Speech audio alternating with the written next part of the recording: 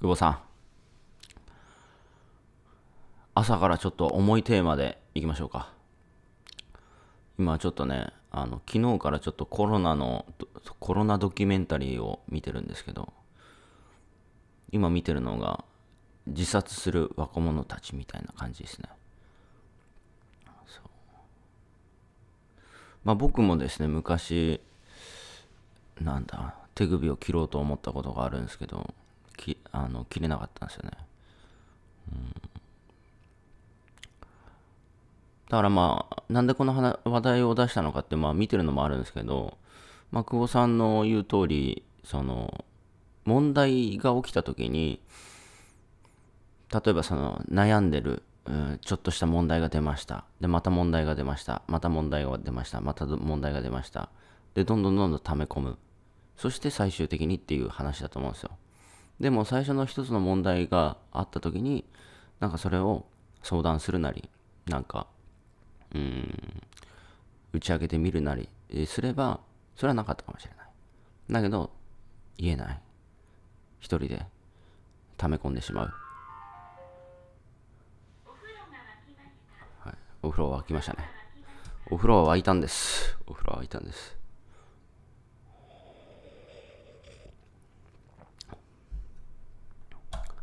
いや、僕もね、あの一回っすよ。あのあのまあ、借金がこう膨らむ前の前の前とかかな。一回ね、あの、かあその会社で、あのなんだ、あまあ、お客さんとトラブって、まあ、ガリガリ昔売ってましたからね。うんだから当時、あれなんですよ。無料お試し、まあ今は当たり前なんですけども、十何年前ですかあのー、30日間無料お試し、その後課金しますよと。今だったら、例えば Amazon プライム30日間無料お試しからの課金、えー、なんだ、あの、Amazon Music6 ヶ月、3ヶ月無料からの課金とか、まあ、まあ普通じゃないですか。まあ、ほとんどが30日間無料試しからの課金する、自動課金するみたいなのが、まあ、結構当たり前ですけど、これ十何年前は、まあ、そういうのはあんまなかったわけですよ。で、その時に無料試し30日間その後課金しますよみたいなのでやってて、まあ、めちゃくちゃ売ったんですよね。で、めちゃくちゃ売った結果どうなったかっていうと、30日後課金になる時に、あのー、めちゃめちゃクレームが来るっていうね なんだこの課金はみたいな。詐欺だみたいなね。一応、30日後解約しなかったら課金するって書いてあるんだけど、まあ昔はそういうのなかったですから、まあ、めちゃめちゃ来るわけですよ。そうで、サポートしてるわけですよね。で、現場火の火の車というか、まあまあ、まあ、ああの、返金したりとかするわけですよ。で、その時に、まあ、どんどん会社のお金がなくなっていくわけですね。で、僕のちょあのお金をあの、まあね、すぐ対応した方がいいわけですから、まあ、会社にお金がなくなります。で、僕のね、プライベートのお金を会社に入れます。そのお金で返金しますみたいなやってて、多分100万か200万ぐらいになったんですよ。で、最後、月末、その一応貸付みたいなね、あの100万ぐらい。実はみたいな。あの現場でそういうのあってやりましたみたいな。言われたのがもっと早く言えみたいなね。もっと早く言え みたいな、まあ、言えない言えないっていうのがあれなんですけどね。そう。だからまあまあ当時は多分部長だったかな。そう部長だったんですけど。懐かしいですね、まあ、言えないんだけど言えないんだけど言った方がいいっていうとこですね。でも言えないんですよね。ここはどう、うん、うん、でもまあいろんな経験して思うのが、うん、まあ早めに相談しといた方がいいよと。まあ僕の場合はすごく結果論ですけど、逆にその借金が、その、まあ言えなく、まあいろいろあって言えなくて溜まって、まあ最終的にってなったんですけど、まあ、それ乗り越えられたいんでいいんですけど これ乗り越えられなかったら、もう死に、結構きついですよね。うん。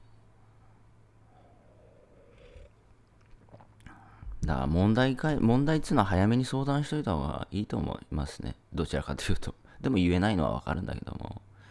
でも言えないまま放置すると、まあ本当に僕は解決はできたけど、うん、そう。ちゃい時に処理しといた方がいいっすよ。うん。後々大きくなりますから。だから火種は、だ火事とかもそうじゃないですか。最初の火種って最初バーって燃える。で、この時にバーって消せば消せるかもしれないけど、もう全部にこう引火してね、ブワーってもう家中燃えてたら、絶対無理じゃないですか。消防車来てももう消せないみたいなレベルになったらもう無理なんで。だけど最初の火種って、なんだ、ちっちゃいわけじゃないですか。ね、いきなりその、まあ、ダイナマイトが爆発するとかちょっと別次元ですけども、最初その、な、タバコの火消し忘れとかで、まあ、あの家が燃えてなくなるみたいなのありますけど、タバコの火種で仮に火が、あの、火事になるんだったら、まあ、最初ちっちゃいですよね、火なんか。でもそれがどんどんどんどん引火してばあだってもう行っちゃうみたいな話なんで。だから火種はもうすぐ消しといた方がいいっすよ、本当に。火種は。だからまあいろいろな経験でまあ学びましたね、本当に。うん、まあすぐ消した方がいいっていう。だからすぐ消すっていうのはすぐやるってことなんですけど、まあすぐ何かアクションを起こしていくっていう。だそれがまあ人生をこう生きていく上で大切なことかなと。すぐ何かアクションを起こすってことですね。例えば自分で問題を解決できないんだったら、まあ人に頼る、すぐね。でも人に頼るっていうことが、なんかちょっと悪いのかなとか、どうなのかなとか、うん、まああったりするんですけど、まあ、その、その後のリスク、その後の大きくなってしまうことを考えたら、まあ最初の勇気というか、最初のちちっちゃい勇気を出してね、あの、やった方がいいと思いますね。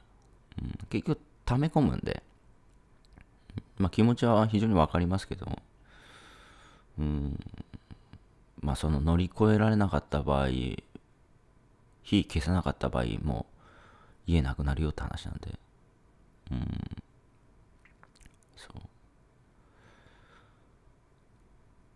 まあ、久保さんもね、いろんな経験してきたと思うんですけど、まあ、久保さんはその、なんだ、あ火種を消せましたよね。まあ、あのままネットに出会ってなかったら、まあ、消せなかったですよね。借金3000万以上。消せました？まあ、普通の手段じゃもう消せないですよね、借金。僕も2000万も、もう普通に働いてたら無理なんで。うん。そう。うん